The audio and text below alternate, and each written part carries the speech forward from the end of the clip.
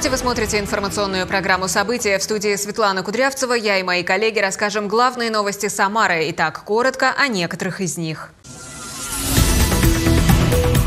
Архитектурная жемчужина Самары в областном центре открыли после реконструкции историческую мечеть.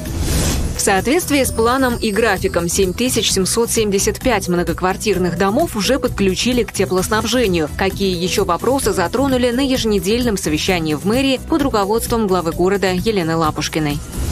Питание детей в образовательных учреждениях Самары обсудили депутаты городской думы. Речь шла об оснащении пищеблоков и обеденных залов в школах, где проводился ремонт. Кубок мира по пауэрлифтингу разыграли в Самаре в эти выходные. Соревнования такого уровня в городе прошли впервые. Историческое достояние многонационального города и живая история в камне. В Самаре на улице Алексея Толстого открылась после реконструкции мечеть. На самом деле ей уже 130 лет. Ее построили в 1891 году. Но в годы советской власти здание забрали у мусульман. Там размещались детский дом, детский сад. Верующим мечеть вернули только в нулевые годы. С тех пор долгое время шла реконструкция. И вот мечеть снова открыла свои двери для прихожан. Подробности в нашем сюжете. أعوذ بالله من الشيطان الرجيم. بسم الله الرحمن الرحيم. Архитектурная жемчужина Самары на улице Алексея Толстого после долгой реконструкции открыли историческую мечеть. Здание построили в 1891 году, но у него была непростая судьба. Спустя 130 лет мечеть принимает прихожан в том облике, который изначально и был задуман. В торжественной церемонии открытия приняли участие губернатор Дмитрий Азаров, глава города Елена Лапушкина, верховный муфтий России Талгат Сафат Джуддин, муфтий Самарской области Талиб Хазрат Ерулин и другие почетные гости.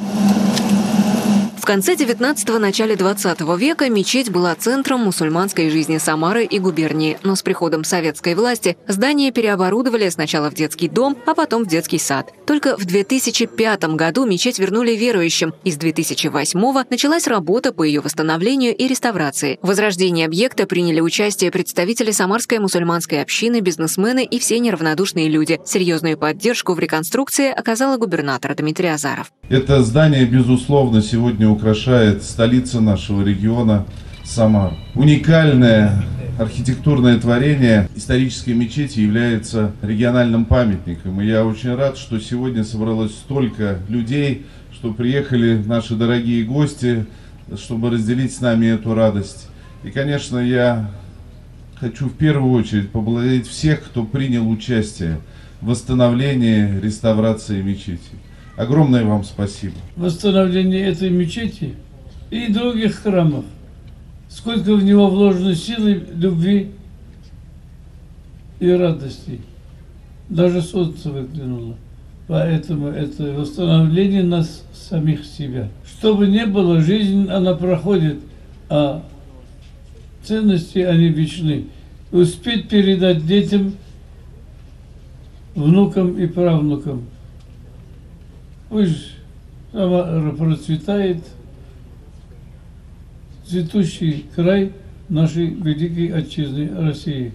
В процессе реконструкции укрепили фундамент старого здания мечети, заменили инженерные сети, установили вентиляцию и пожарную систему, провели отделку фасада и внутреннюю отделку помещений. К исторической части мечети пристроили двухэтажное здание с куполом и 38-метровый минарет с видом на Волгу. Для мусульманской татарской общины это здание очень важно, потому что это является таким ну, памятником, который говорит о том, что Здесь ислам, татары на берегах Волги, в нашей Самаре, они уже веками живут. Что мне больше всего понравилось, вот этот старый уголок, старый участок этой мечети оставили без изменений. По сути, логически, наверное, было бы красиво, если она была бы вся в белом цвете, но я думаю, в этом и фишка, чтобы все люди помнили, знали, э, насколько было тяжело изначально и как хорошо сегодня. То есть, чтобы они не забывали о благодарности Всевышнему за все блага, которые есть сегодня. И в то же время это напоминание об истории, потому что, ну, я думаю, история – это сила. История, она воспитывает нашу молодежь.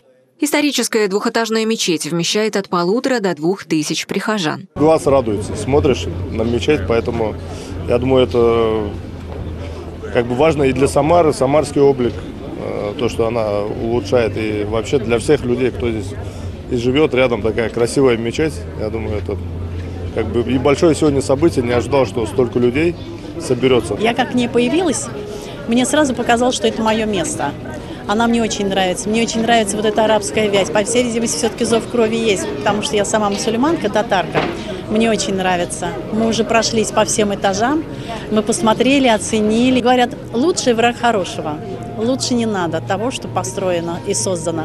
Вот как Аллах дал людям мысли, вот так они это произвели. Работы по развитию исторической мечети и прилегающей территории продолжаются. В будущем здесь планируют открыть спортивный зал, учебные заведения, проводить мастер-классы и занятия для детей. Светлана Кудрявцева, Василий Колдашов. События. В соответствии с планом и графиком 7755 многоквартирных домов уже подключили к теплоснабжению. Об этом сообщили на еженедельном совещании в мэрии под руководством главы города Елены Лапушкиной. Напомню, отопительный сезон стартовал в Самаре 27 сентября. В первую очередь подачу тепла организовали в объекты социальной сферы, общеобразовательные и дошкольные учреждения, объекты культуры и здравоохранения. Тему продолжит Ольга Павлова. Обеспечить теплом каждый самарский дом – основная задача властей города и профильных ведомств. Отопительный сезон стартовал 27 сентября, и всего за неделю количество домов, подключенных к теплоснабжению, удалось увеличить вдвое. В первую очередь обеспечить горячими батареями старались объекты социальной сферы. Они были разбиты на две категории. Первая – это объекты здравоохранения, опеки, детские сады, школы и дома ребенка. Более 99% из них на сегодняшний день подключены к теплу. Во вторую категорию попали объекты доп. образования, культуры, вузы и СУЗа столицы региона. Готовность этой категории соцсферы почти 73%. Кроме того, из 10 195 многоквартирных домов 7755 также уже обеспечены теплом. Это составляет 76%. Работа ну, по запуску продолжается. В сегодняшний момент, если говорить, температура среднесуточная составляет 12,8 градусов. Пока проблематики особой нету. Работа по включению продолжаем. Перед началом отопительного периода управляющими и обслуживающими организациями были выполнены работы по промывке и опрессовке тепловых систем, ремонту внутридомовых систем отопления, ремонту кровли и межпанельных швов, а также по восстановлению теплоизоляции трубопроводов. Жители Самары просят обратить внимание на то, что технологический процесс по подключению к теплу не одномоментный и занимает около двух недель. Все возникающие вопросы будут решаться в оперативном порядке и адресно, не остаются в этот период без внимания и работы на объектах ремонта и технического перевооружения теплотрасс, которые сейчас находятся в завершающей стадии стадии. Благодаря инвестициям, привлеченным в рамках реализации модели тарифа образования «Альт-котельная», за лето и начало осени выполнен большой объем перекладок. Если говорить по э, объектам, которые э, были у нас в постановлении, это 12 э, основных и 8 дополнительных объектов, 20 по перекладкам техническому перевооружению. На сегодняшний момент по 5 объектам благоустройства Работа закончена, благоустройство восстановлено в полном объеме. Из оставшихся 15 объектов работы ведут на 12 по благоустройству и на трех по сборке монтажных схем и устройству каналов. В Департаменте городского хозяйства и экологии отмечают, что работы, которые проводят на теплотрассах, не повлияют на запуск отопления. В некоторых случаях подача тепла будет осуществляться по временным схемам, с которых затем переключаются на постоянные. Ольга Павлова, Николай Епифанов. События. Специалисты Департамента транспорта рассказали, как будет организовано движение по улицам Новосадовой и Полевой в связи с частичными ограничениями. Напомню, с 8 октября один из оживленных городских перекрестков перекроют на 39 дней из-за строительства станции метро «Театральная». Как пустят общественный транспорт и для чего вводят ограничения, узнал Михаил Ермоленко. Пересечение улиц Полевой и Новосадовой – один из самых оживленных перекрестков в городе. Через него проходит 8 маршрутов. В основном это льготный общественный транспорт, но есть и коммерческий. На линии больше сотни автобусов. Профильный департамент разработал временную схему движения с учетом ограничений, которая появится на перекрестке Полевой и Новосадовой ориентировочно с 8 октября. Порядок движения по маршруту и перечень улиц для объезда перекрестка согласовали таким образом, чтобы минимизировать неудобства для самарцев. Когда автобус идет в город, он не проходит вот этот вот участок по Новосадовой, не пересекает полевую, там не идет дальше. А, а заранее с Новосадовой поворачивает направо на Первомайскую и таким образом объезжает далее по Молодогвардейской этот участок. Когда маршруты идут в обратном направлении из города, они двигаются по улице Самарской, потом поворачивают на Чкаловскую и потом по Ленинской на проспект Ленина выходят, ну и дальше также выскакивают потом на Новосадовую. На 39 дней ограничений движения на перекрестке Полевой Новосадовой, а также на близлежащих дорогах скорректируют и работу светофоров. Специалисты займутся этим на текущей неделе до наступления выходных. Корректировка работы светофоров нужна, чтобы избежать образования заторов на дорогах. Жители города просят с пониманием относиться к предстоящим неудобствам. А сами горожане говорят, главное, чтобы строительство метро шло качественно и в соответствии со сроками. Самарцы с нетерпением ждут театральную. Конечно, нужно потерпеть, воспользоваться пешком можно ходить. Я живу здесь недалеко, поэтому я думаю, что мне будет, конечно, некомфортно, неудобно. Но ради такого проекта, конечно, надо закончить строительство этого метро. Если нужно, то придется потерпеть, зато у нас будет метро. По работе часто езжу здесь. Ну, здесь центр города, поэтому я думаю, что тут достаточно всегда плотное движение. Если что, потерпим.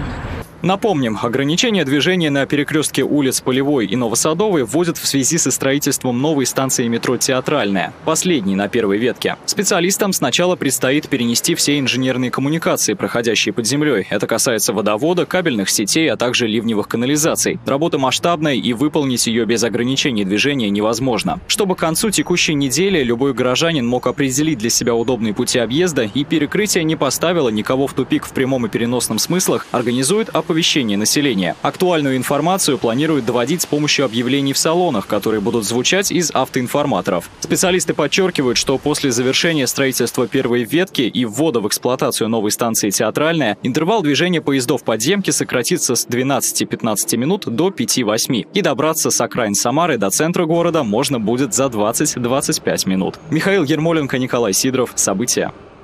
Министр внутренних дел России Владимир Колокольцев представил личному составу новых руководителей территориальных органов МВД. Одним из них стал Игорь Иванов. Его назначили начальником КМВД России по Самарской области. Соответствующий указ президент подписал 26 сентября. Об этом сообщается на официальном сайте МВД. Игорь Иванов работает в органах внутренних дел более 30 лет. До назначения в Самару занимал должность начальника полиции в Кемеровской области. Также получил специальное звание генерал генерал-лейтенанта полиции. В Самарской области заработал чат-бот по вопросам частичной мобилизации. Он действует на базе мессенджера Telegram. Информацию озвучили власти губернии. С помощью бота жители региона смогут найти ответы на интересующие вопросы. К примеру, узнать, кто подлежит призыву, какое социальное обеспечение для них предусмотрено. Бот позволяет заменить звонок на горячую линию. В нем найти нужную информацию можно круглосуточно. Чтобы узнать все необходимое, достаточно просто написать в чат. Также с 29 сентября в регионе регионе начала действовать рабочая группа по вопросам частичной мобилизации. Участники будут рассматривать обращения жителей. Они днем подменяют пап и мам, а также становятся для детей проводниками в мир профессий и увлечений. Лучшие представители образовательной сферы Самары встретились на торжественном собрании в честь предстоящего Дня учителя. Педагогам и воспитателям вручили награды глава города Елена Лапушкина и председатель городской думы Алексей Дегтев. О том, кто каждый день помогает юным горожанам, расскажем в следующем сюжете. Настоящие профессионалы своего дела, лучшие педагоги и воспитатели собрались в зале на празднике, посвященном Дню Учителя. Они имеют признание не только среди коллег, но и среди своих учеников. Одна из них Наталья Милунова, учитель химии и биологии. Уже 34 года она преподает естественные науки. Средний балл ее учеников на экзаменах стабильно выше 70. Занимается со школьниками внеклассной работой. Не раз сопровождала ребят на профильные экологические смены в оздоровительные центры. Сегодня за работу ее наградила глава Самары Елена Лапушкина. Ну, во-первых, это быть человеком. Это первое. А, уметь видеть детей, понимать их в обязательном порядке, потому что дети разные, и каждый индивидуальный подход. Нужно быстро сориентироваться, что сказать этому ребенку в сложный момент. И, конечно же, поддержать его, когда у него какое-то торжественное мероприятие. Всего на торжественном собрании в честь Дня учителя в Самарской филармонии глава Самары Елена Лапушкина наградила 8 педагогов благодарственными письмами и почетными наградами. Я вас всех, абсолютно всех, и ваши коллективы поздравляю с профессиональным праздником, с Днем Учителя. От души желаю каждому из вас здоровья и счастья. Пусть у нас будет мир, доброта и, конечно, наши благодарные ученики, которыми вы будете гордиться долгие-долгие годы. С праздником, друзья! Награду учителям вручил и председатель Самарской городской думы Алексей Дегтев, а также представители регионального министерства и городского департамента образования. Для учителей и воспитателей подготовили и праздничный концерт. Андрей Горгуленко, Григорий Плешаков. События. Питание детей в образовательных учреждениях Самары обсудили депутаты городской думы. Речь шла об оснащении пищеблоков и обеденных залов в школах, где проводился ремонт. Подробности в нашем сюжете.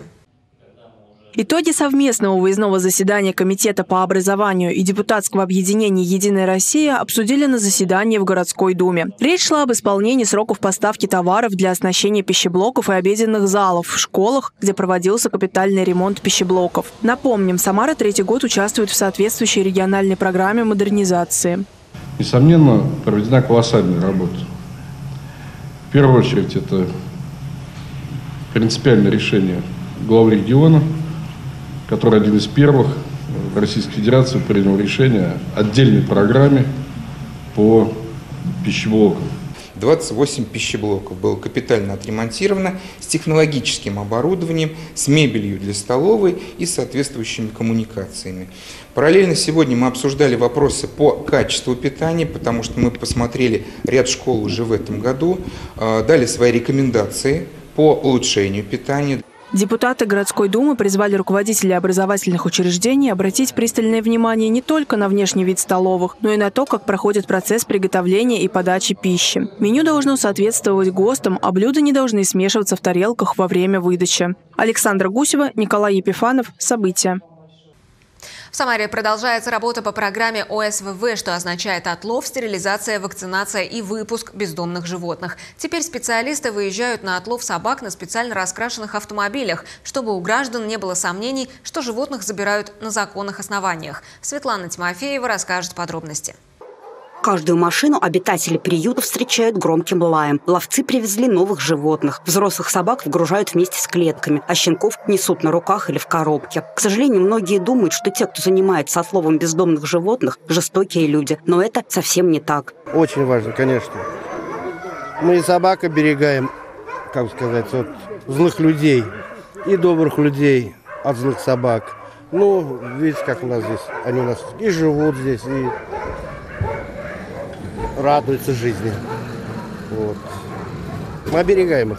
На сегодняшний день в службе по отлову бездомных животных работают четыре основные машины и две вспомогательные. Чтобы люди не сомневались в добрых намерениях ловцов, на автомобиле нанесли специальную раскраску. Чтобы процедура отлова была максимально гуманной, сотрудники службы проходят специальное обучение. Для меня тоже был такой важный момент, чтобы люди все были зрелые, чтобы они понимали, как общаться с людьми, чтобы они любили собак и все-таки не смешивали, да, вот э, отлов и там а, какие-то там личные да, мотивы негативные по отношению к животным. Поэтому отбор у нас был достаточно серьезный. И сейчас э, я считаю, что а, видя как каждый день ловцы уже привезли собак, да, высаживают их, э, с ними разговаривают. Там иногда я застаю за тем, как они обнимаются со щенками. Оказавшись в приюте, собаки проходят ветеринарный осмотр. Если животному требуется медицинская помощь, его лечат. Всем четвероногим делают операции по стерилизации и прививки от бешенства. Затем каждая собака получает специальную бирку, которая впоследствии помогает отследить судьбу животного. Нередки случаи, когда люди приезжают в приют и забирают четвероногих в семью. Мы их стараемся выкормить, вырастить, то есть и в дальнейшем уже, ну, естественно, попытаться щенкам именно найти дом, чтобы, естественно, они обрели семью, потому что очень много людей приходит к нам, как бы интересуются. А можно мне вот, я вот не хочу взрослую собаку, я вот именно хочу щеночка. Случается, когда уже чипированные животные возвращаются в приют. Это происходит, если собаки проявляют агрессию по отношению к людям. В таком случае они остаются под присмотром специалистов до конца своей жизни. Светлана Тимофеева, Василий Колдашов. События. Кубок мира по пауэрлифтингу разыграли в Самаре в эти выходные. Соревнования такого уровня в нашем городе прошли впервые. За трофеем приехали порядка 200 спортсменов из России, Ирана и Казахстана. Наш регион представляли троеборцы Самары и Новокуйбышевска. Рекорды записали наши корреспонденты.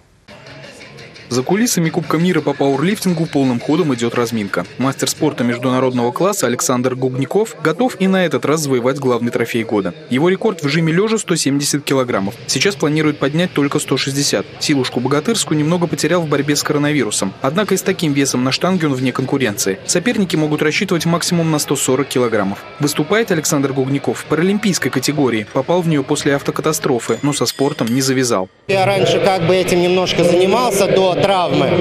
И для меня это было близко. Соревнований очень много, но побеждал. Побеждал э, Кубки СНГ, Кубок России, Кубок э, мира, чемпионат мира, Евразия, Европа. Жена даже уже медали в сумочку складывает, говорит, что стенка скоро обрушится. На Кубке мира по пауэрлифтингу Самарскую область представляла сборная региона, в составе которой команда паралимпийцев из Новокуйбышевска «Крепкое звено». Из семи богатырей четверо мастера спорта. Антон Попов, Дмитрий Дробин, Андрей Исаев, Алексей Сурков. Они готовы поделиться опытом с начинающими паралимпийцами от 14 лет и старше. С радостью примут в команду новых спортсменов для тренировок и выступлений на соревнованиях от городских до международных, как этот Кубок мира.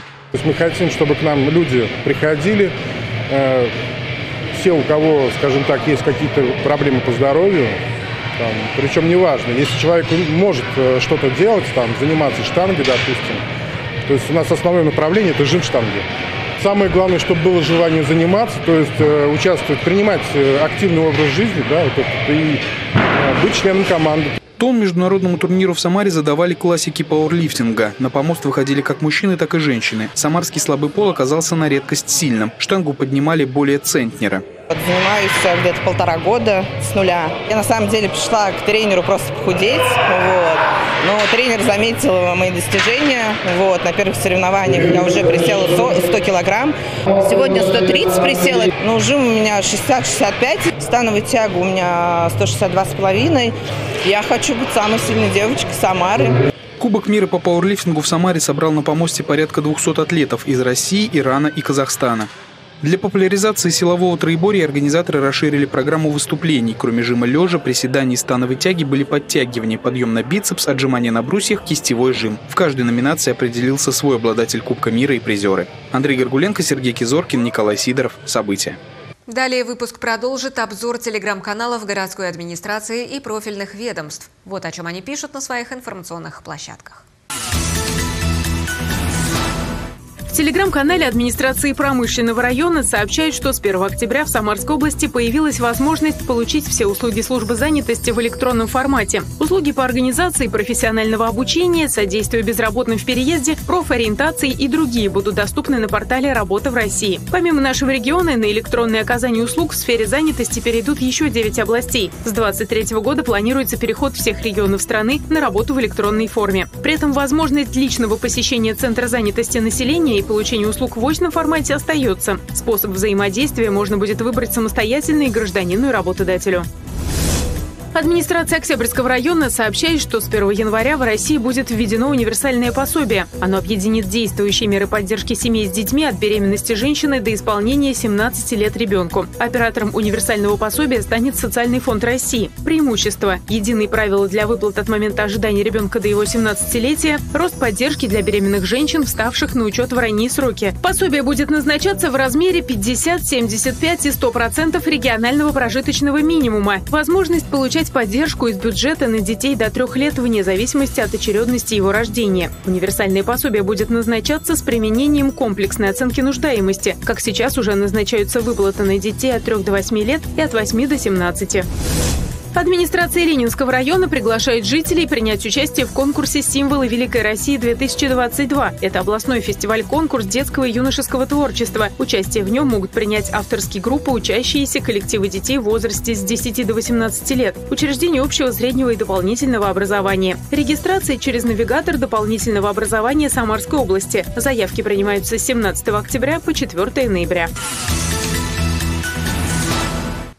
Скажи свое мнение. Ежедневно мы проводим в своем телеграм-канале опросы на самые актуальные темы. И сегодня выясняем, легко ли наши подписчики включаются в работу после выходных. 39% опрошенных ответили, что чувствуют себя отдохнувшими и полными сил. 56% заявили, что им требуется время для раскачки. Остальные предложили свои варианты ответа. Проголосовать и оставить свой комментарий вы тоже можете в телеграм-канале «Самара ГИС». На этом наш выпуск подошел к концу. Берегите себя и своих близких и до встречи. Thank you